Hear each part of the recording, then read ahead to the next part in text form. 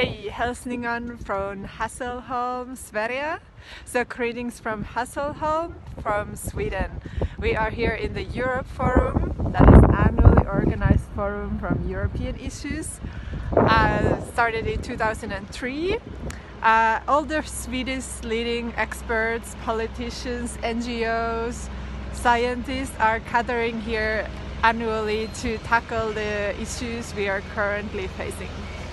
So let's see what the day will bring and uh, see you later. Perfect, Perfect, really perfect. Uh, I know.